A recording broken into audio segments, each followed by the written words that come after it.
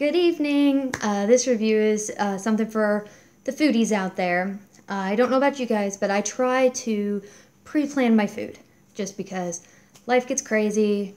I have less time to make my lunch, eat a lunch, breakfast, even.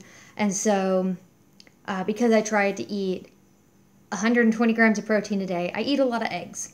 Eggs are fairly easy. Uh, egg whites are low in fat, high in protein, things like that. Always looking for new ways to make them. And I was really excited to try these. This is how you can make a boiled egg outside of the shell. This is neat because then you're not trying to unshell a hard boiled egg, because that's how I make them. You may prefer soft boiled, that's on you.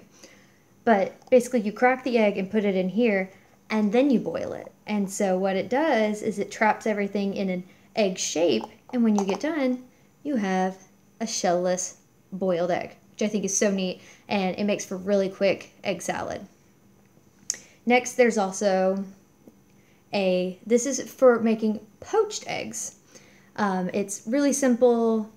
You put the egg in here and then you slowly put it in the water and it allows it to poach without um, a, without I mean honestly to take it out of the cup. So so fast, so easy.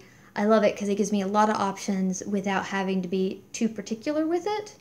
Um, so if you're looking for a new way to make eggs or a faster way, go check this out. Let me know what you think. If you've got questions, comments, or profound thoughts, put them below. Thanks much. Bye.